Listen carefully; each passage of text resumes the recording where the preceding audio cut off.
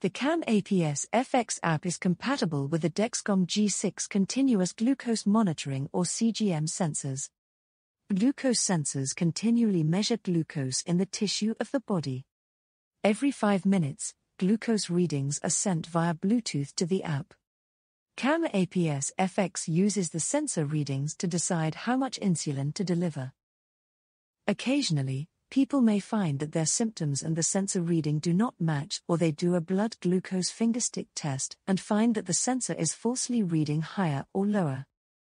If the sensor is inaccurate, the amount of insulin delivered by the algorithm might also be incorrect. For example, if the sensor is overreading and is showing a higher glucose value, the algorithm will become more aggressive than necessary and potentially cause someone to have a hypo. Likewise, if the sensor is under reading and is showing a lower glucose value, the algorithm will reduce or even stop insulin delivery unnecessarily, causing glucose levels to rise. The Dexcom G6 sensors are factory calibrated and therefore routine calibration is not necessary.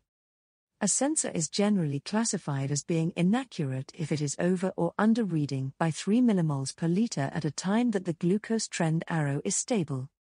To calibrate the Dexcom sensor, open the CAM APS FX app. Tap on the blood drop.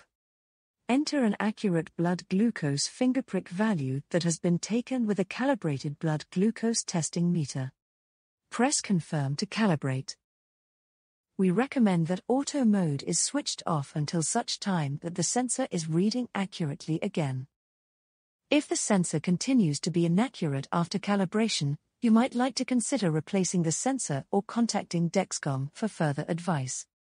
Please speak to your diabetes team if you experience frequent sensor accuracy issues.